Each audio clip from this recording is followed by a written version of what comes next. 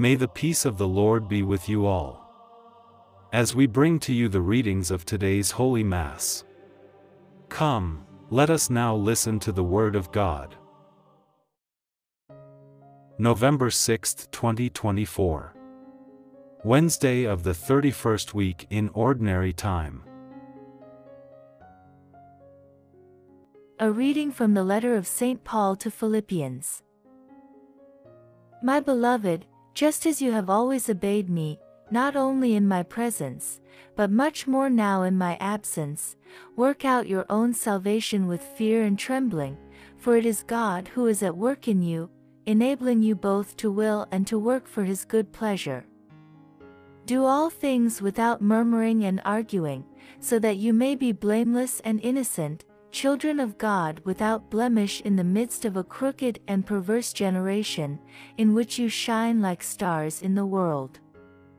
It is by your holding fast to the word of life that I can boast on the day of Christ that I did not run in vain or labor in vain.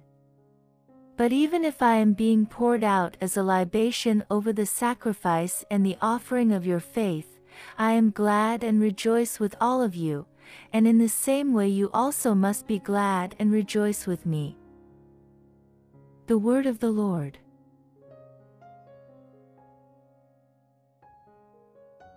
Responsorial Psalm. The response is The Lord is my light and my salvation. The Lord is my light and my salvation, whom shall I fear? The Lord is the stronghold of my life, of whom shall I be afraid? The Lord is my light and my salvation. One thing I asked of the Lord, that will I seek after, to live in the house of the Lord all the days of my life, to behold the beauty of the Lord, and to inquire in his temple. The Lord is my light and my salvation. I believe that I shall see the goodness of the Lord in the land of the living. Wait for the Lord, be strong, and let your heart take courage, wait for the Lord. The Lord is my light and my salvation.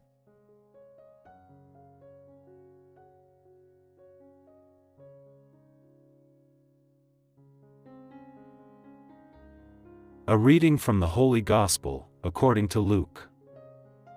Large crowds were traveling with Jesus, and he turned and said to them, Whoever comes to me and does not hate father and mother, wife and children, brothers and sisters, yes, and even life itself, cannot be my disciple.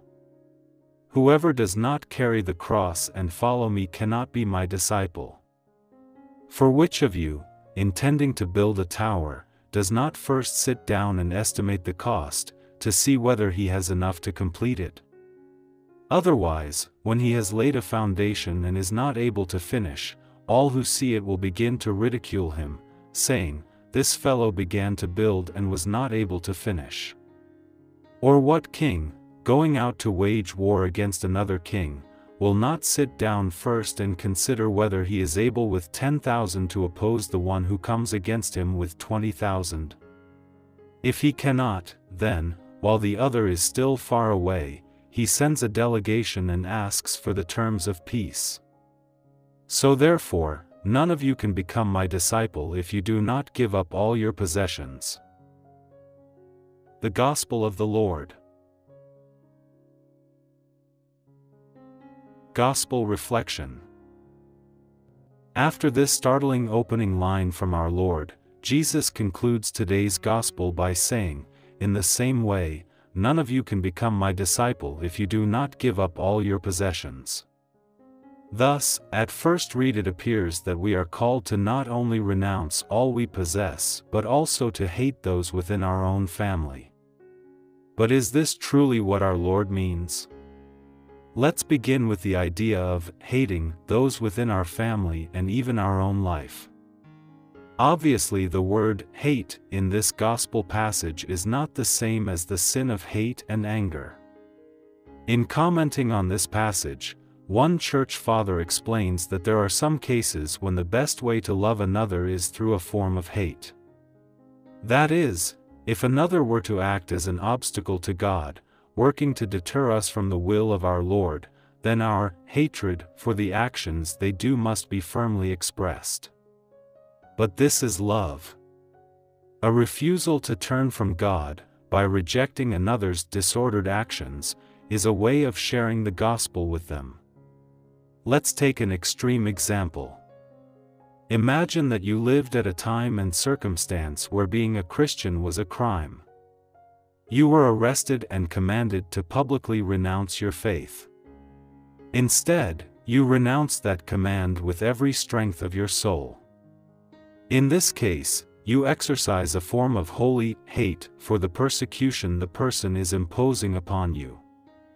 But that is also an act of love toward them as you fully reject their action by renouncing their command. Or consider also how you hate even your own life. Let's say that you fall into serious sin over and over. The appropriate response is not only to repent but also to have a form of holy hatred for the habit into which you have fallen. This is a true hatred for yourself in the sense that it is a hatred for that which you have become by your sin. But this holy hatred has the ultimate goal of passionately overcoming your sin and is therefore a true act of love for yourself. The concluding line of today's Gospel mentioned above calls us to renounce all of our possessions. In other words, we must renounce anything that we are attached to in a way that is contrary to the will of God. Of course, in God's providence most people, except those who take a vow of poverty, are invited by God to have various possessions so as to meet the material needs of life. But even in this case, we must, renounce all that we possess, meaning, we must not allow ourselves to become attached to anything other than God. But this is freedom in the truest sense. Even if you have many things, it must be understood that those things do not make you happy. Only God and His will can fulfill you. Nothing else. Thus, we must learn to live as if God and God alone suffices. And if it is God's will that you obtain a house, car, computer, television and other modern conveniences, then so be it.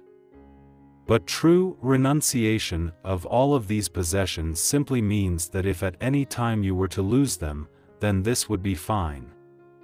Therein is perfect detachment. The loss of something material would not deter you in any way from loving and serving God and His holy will. Reflect, today, upon these radical words of Jesus. Try to hear them in the way our Lord meant them. Work to be detached from everything that is contrary to the will of God and everything that becomes an obstacle to God in your life. In the end, possessing God alone is more than you could ever hope for. And only if you fully possess our merciful God will you be able to love yourself and others with the pure heart and love of Jesus our Lord. Let us pray. My demanding Lord, you call us all to a life of radical holiness. You desire that I come to love you above all with all my heart. Please give me the grace and wisdom I need to renounce all that is an obstacle to my love and service of you. May you and you alone be glorified in my life. Jesus, I trust in you. Amen. Thank you for watching. Please like, subscribe and share it with your friends and family, so that they may also be blessed as you are. May God bless you.